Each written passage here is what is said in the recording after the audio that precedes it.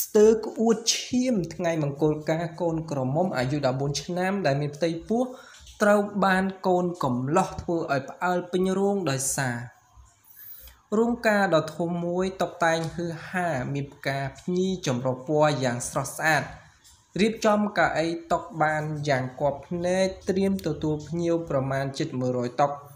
ប៉ុន្តែពុទ្ធោរងចាំដល់ថ្ងៃត្រង់ទៅហើយបែរជាមិនឃើញកូនកំឡោះមកទៀតធ្វើឲ្យខាងកូនក្រមុំនិងបងប្អូនសាច់ញាតិជ្រួលច្របល់និងខកចិត្តអស់សង្ឃឹមរកទីបំផុតគ្មានអាពាហ៍ពិពាហ៍ខកចិត្តនេះកើតឡើងនៅស្រុកក្រៅភ្នំខេត្តក្រบี่ប្រទេសថៃស្ថិតនៅក្នុងវ័យ14ឆ្នាំ កូនក្រមុំដ៏សែនរងកម្មចិត្តបានធ្ពួកស្នេហ៍ក្បែរកម្ពូតព្រៃជាមួយនឹងកំឡោះវ័យ17ឆ្នាំដេកផ្ដួលរំជួលប្រានជាមួយគ្នារហូតមានផ្ទៃពោះធ្លាក់ក្នុងភក់ដ៏សែនអាប់កិត្តិយសបែបនេះ កូនស្រីបានសុកចិត្តចំណាយថ្លៃមង្គលការ3សែនបាត តែកូនកំឡោះសុំចុះថ្លៃទឹកដោះឲ្យនៅត្រឹមតែ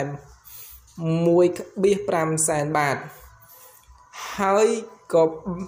ហើយក៏ដើម្បីបង្កើតអាពីពីពីពីមួយកសាងគ្រួសារនឹងគេលោកលោកផុងឈ្មោះដែលគេហៅខាងក្រៅអាយុ68ឆ្នាំ និងលោកស្រីមួយអាយុ56ឆ្នាំ ជាឪពុកម្ដាយបង្កើតរបស់កូនក្រមុំ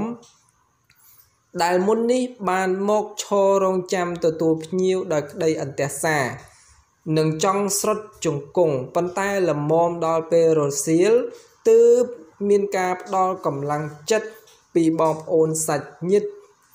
គាត់ក៏បានរៀបរាប់ប្រាប់ថាមង្គលការនេះបានត្រៀមមួយខែមុនក្រោយពីសាច់ញាតិខាងប្រុសចូលមកនិយាយចាយចង់សុំភ្ជាប់សាច់ឈាមជាមួយនឹងកូនស្រីអាយុ14ឆ្នាំ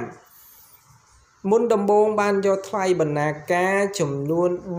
3ក្បៀស5សែនបាតពីខាងប្រុសព្រោះគាត់មានតែកូនស្រីម្នាក់គត់ប៉ុន្តែខាងប្រុសបានសុំបញ្ចុះថ្លៃនៅត្រឹមតែ150,000បាតនឹងបានមើលពេលវេលានៃថ្ងៃមង្គលការត្រឹមត្រូវតាមការគុណគូរបស់លោកអាចារ្យ មុនដល់ថ្ងៃរៀបការកូនកំឡោះបានសុំបញ្ចុះតម្លៃដដែលទៀតប៉ុន្តែគាត់ក៏បានបញ្ជាក់ទៅវិញថាគឺនៅតែដដែលពេលវេលានៃថ្ងៃមង្គលការបានមកដល់អ្វីអ្វីត្រៀមរួចជាស្រេចក្នុងតម្លៃចំណាយ3សែនបាត សល់មួយថ្ងៃដល់ថ្ងៃរៀបការវេលាយប់កូនកំឡោះបានទូរស័ព្ទមកថាមិនអាចមករៀបការបានទេដោយសារតែគ្មានប្រាក់បង្គាប់ឬដូច្នេះគាត់សឹងតែធ្លាក់ថ្លើមប្រមាត់ហើយប្រឹក្សាយោបល់ជាមួយនឹងបងប្អូនថានឹងនៅតែបន្តមីពិធីមង្គលការនេះដដែលតែឪពុកម្ដាយខាងស្រីក៏បានទៅប្តឹងឲ្យកូនកំឡោះ ទៅទទួលខុសត្រូវក្នុងរឿងនេះកូនស្រីខ្ចីអាយុកំពុងតែសិក្សានៅវិទ្យាល័យក្នុងវ័យ14ឆ្នាំ បានបង្ហូរទឹកភ្នែកយ៉ាងសោកសង្រេងព្រោះបេះដូងប្រមាត់ឡើងពោះវៀនត្រូវភ្លើងកំណាចរបស់កូនកំឡោះដុតរោលគ្មានប្រណីចំណែកកូនកំឡោះវ័យ17ឆ្នាំ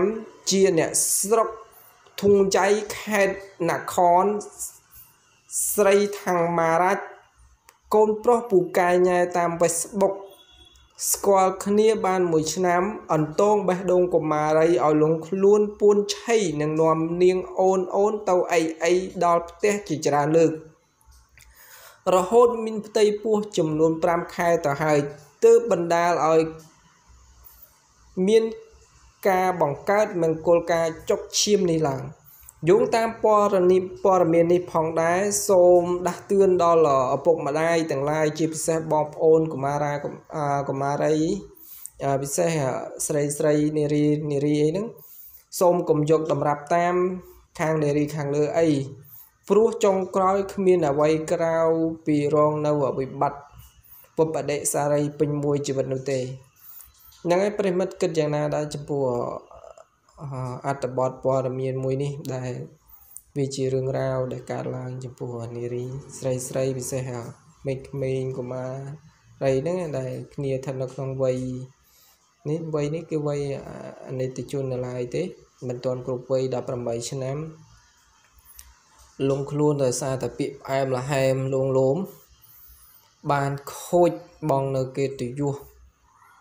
អាប់អោនមែនតើ អ្នកប្រិមិត្តគិតយ៉ាងណាដែរចំពោះព័ត៌មានមួយនេះបើសិនជាចូលចិត្តសូមជួយ Subscribe នៅ Channel យើងខ្ញុំផងអរគុណជម្រាបលាជួបគ្នានៅព័ត៌មានក្រោយៗទៀត